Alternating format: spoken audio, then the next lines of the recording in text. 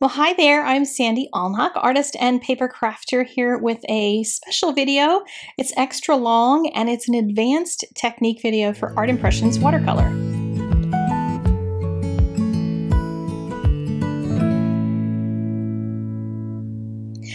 Well, this video is the first in my November series of projects. Each day I'm doing a little thankfulness prompt because I need more thankfulness in my life. So I'm hosting a little challenge. You can do Bible journaling, card making, sketching, lettering, whatever you want. And the list is linked in the doobly-doo as well as over on my blog and my Instagram if you want to join in. But today's prompt, the first one, was memories. And I thought I am thankful for memories of building snowmen with my friends and my sisters when I was a kid. So I'm going to use these Art Impressions little kiddos who are wearing summer clothes. Notice they're wearing shorts and short sleeve shirts and skirts and things. And I'm going to make them into winter kiddos. Now I'm betting eventually Art Impressions is going to make some uh, some winter kiddos for us. But they also have benches and boats and things that these kids are meant to be part of. But I'm going to put them on a bench, one of them on a bench, and then use the snowman for the center image. So they're going to be standing around looking at their snowmen. I have my watercolor paper that is cut out there and I also have a piece, piece of vellum over it and I want to show you how I'm going to set up the scene. So I'm going to use two of the standing children, one of the sitting children, the sitting little girl, and she's going to sit on a bench and then I've got the snowman. And I'm going to start by stamping the images real quickly and loosely onto the vellum. And that's going to be my guide for the whole scene that I'm doing. So I'm going to put the little girl down here in the lower right hand section. And I'm just stamping with any old color. Doesn't really matter what color you use to put these things together. You don't have to mask anything out, just kind of get them in place. Now this bench um, has another leg that didn't stamp in there, so I drew that in. And I also drew a little pile of snow to remind myself to put snow on the bench. And I'm going to use a, just a little corner of a sticky note to mask off the feet of the little girl. So she's clearly going to be connected to the scene. I could have just had her floating out there and you can do that, but I wanted to kind of tuck things in a little bit. Got the little boy over here on the right hand side. They're both facing inward into the snowman. So they're both looking at him. And then I'll have the snowman in a place where it looks like their heads are facing so they're looking at him. I had done this once before and I had the snowman too low and it looked like they were all looking past him. So now I'm going to do my, my actual stamping and I'm noticing that it's not quite centered and I could move the vellum over, but I thought, you know, I'm just going to leave it because it gives me room to trim it down a little bit and do some layering of paper when I get to my finished card. So I'm going to start by stamping the image in the front and I want to line it up on the vellum and then stamp it with a darker ink just so I can see that it actually is in the right location. And then clean off that stamp of the dark ink. And then here's the magic of making her into a little pink jacket instead of having the, the little overalls that she's wearing is just to ink the outside edges. And you'll see how this works several times throughout doing all the little kids. And then I'm also going to do her hair and her face. Um, the marker colors that I'm using are going to be over listed on my blog, so if you want to see those. But generally, just do what colors you want to do and whatever markers you want to do. Lots of them work, and they, if you've done a lot of art impressions watercolor, which if you are looking at this video and you want to try it, I recommend doing some much simpler things first because this is kind of a really super advanced technique and those of you who are ready to do that already kind of have an idea of what's going to be happening here. You'll know what kind of paper works best for you and what kind of markers work best. But I'm going to be using the Art and Graphic twin markers. These are these zig-like markers. They have the zig kind of colors and properties, but a different nib on them. So notice that I just kind of painted in her whole jacket area instead of kind of trying to make overalls or anything, just painted it as a blob of color. Put some color onto the block so that I could pick some matching color up with my brush to be able to paint in more color. And then I can pull in some yellow and some browns for her hair as well. I'm okay doing both of these at the same time because the two parts of the image don't touch. But since I'm going to be doing another step or two, I wanted to heat set this just so it kind of stays put and doesn't get too mushy. I'm going to stamp over top again and look at the parts that change. I put a darker edge on uh, kind of her outer edges on her two elbows. And then there's the two sides that you can actually take your marker and add a little bit extra in. So the two areas where her back goes up between her arms, you can fill in any areas. I added extra stamping around her hair as well. And now I'm just going to add a scarf. And it's just a matter of filling in where her neck was and adding whatever color kind of scarf that you want, and then a little bit of it hanging out the other side so it's clear that it's a scarf. Heat set that before you put the vellum on. Don't ask me how I know that because I said I did have to do this twice. it was a lot of work to do it twice, but the first one I went through the whole process to practice it. Now here I goofed up something because I thought I was masking out the top of the bench and I didn't. So I decided I was just going to plow ahead and see if I could get this to work anyway. Make it look like a thicker bench because normally I would like to have wiped out that top line so that that would be the snow but I'm just going to add more snow on top of the whole thing. And by the time it was all said and done, I was okay with it. So you can see me trying to make sort of a wiggly line out of the top of it so that it'll look like there's snow kind of hanging over the edge of the wood, that kind of thing. Use my uh, heat gun to dry it. And then I have this really light blue marker, and it, you can use a light one if you're just kind of sketching things in, and then use darker colors when you get to that point if you need to. So here's the other little girl. Her foot is still going to be touching that corner of the bench.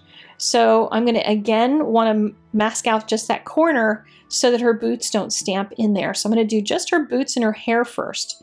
So this is one of those images where you can do just certain parts of it and watercolor certain parts. So I added tops to her boots. Those are supposed to be naked feet, but they are boots instead. And they've drawn them large enough that they'll they'll survive as that. So now we've got hair and boots, and I'm going to dry those because I don't want any of the other parts that touch them to pull that black color in.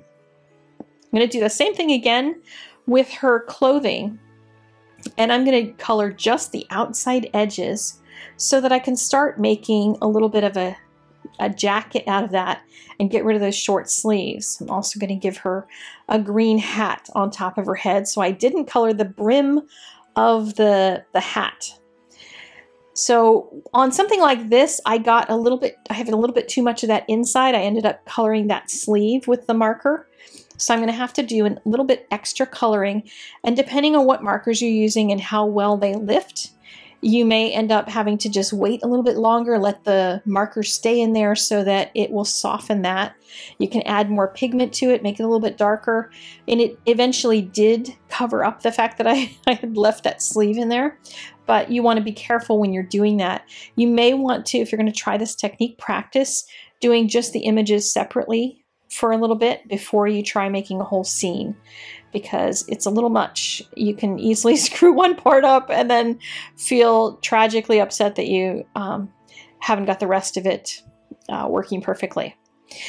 So I'm going to make her hand pink and her skirt pink. So that's going to be her gloves and her skirt and then add a little pom-pom on top as well as a scarf. So our little girl is all dressed now for winter. And I'm going to once again go in and firm up some of the spots, not all of them, but a few of the lines like on her back and the back of her legs, that kind of thing, I can stamp over top of it because I'm leaving it in the MISTI. If you don't have a MISTI, I don't know how you can get the stamp positioning exact to go back into place this way, but you can just draw those things in with markers rather than stamping them again. So I've got some darker pink going, and I thought I'd add some darker pink to the little girl who's sitting down. And then I thought, oh, wait, let me put some darker green on the jacket of this little girl. And that then started to hide the fact that I've still got that little sleeve kind of under, under her her jacket a little bit showing. So that didn't bother me once I was done with all that. Got it all dried so I could test out that my little boy is in the right place. And I stamped his boots and his hat, so he's going to wear black boots and a black hat. He's not going to wear a winter hat because he's a boy, and boys wear their baseball hats all year round. So there you go. Stamped his blue jeans and then his jacket, and he's going to wear a brown jacket. So same deal as before, just going to color the jacket with enough, you know, going back and forth with it to try to eliminate some of those lines, add more color to it and that sort of thing until it starts to feel more like a jacket. For some of them, you might want to make that make it look puffier so make the area look larger. But if you're going to restamp over something, then you're kind of confined to where the stamping will be. So they wouldn't be able to wear big, heavy, heavy ones. So here I was trying to add a green scarf and green gloves. And when I stamped it, I realized I had gone outside of where that, that little stamped line would be around his gloves. So I just brought his scarf down lower because I should have stamped the gloves first and I didn't. So there you go. But isn't this fun the way it's progressing? Kind of enjoyed this whole process. So check to see that my snowman is where it's going to be and anything that needs masked like right by that little girl's head. And I stamped him in that very lightest blue color. And one of the reasons is because, see those buttons? They have like a little area that you can make a shadow around them. If you just color those in black, like they'd be little pebbles, then you're going to end up with a big black blob on his belly. But if you do it in the blue first, then you can put just a little bit of the black in later, just in the center of the hole, and then you end up with smaller little black rocks in the in the little guy. But again, remember constantly to be heat setting in between as you're starting to add more layers because you don't necessarily want to go too crazy. So here you can see I'm firming up some of the areas with the stamping. I did first the left side of the snowman with the darker blue, and then the hat, and then the eyes and the, the buttons down his shirt and stuff.